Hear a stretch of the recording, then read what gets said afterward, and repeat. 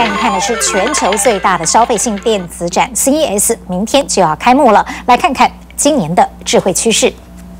目前我们所在的位置呢是美国 Las Vegas 的 CES 展场。其实呢，明天才开幕，不过今天是媒体日，已经有不少大厂的记者会先行开跑了。以为电子展就是看手机新款吗？那有点落伍喽。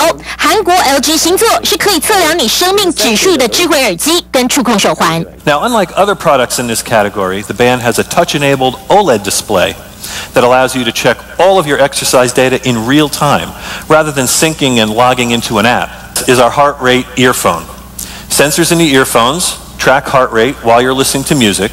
穿戴式装备到底有多夯呢？手机厂做当然不稀奇，但是现在连全球最大的半导体公司 Intel 也来分一杯羹。穿戴装置跟数位保健显然最当红，全球第一支的智慧型牙刷，侦测你每天能刷掉多少牙垢。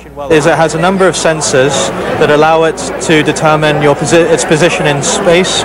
小而美新奇，但大也是本届的焦点。联想推二十七寸巨无霸平板，而三星则发布一百零五寸的可弯曲大电视。105 inches. This is the world's largest UHD TV. CES 有破两万种科技亮相，厂商摩拳擦掌，要抢经济复苏的美国订单。TVBS 新闻李亚男、廖佩君在美国拉斯维加斯的采访报道。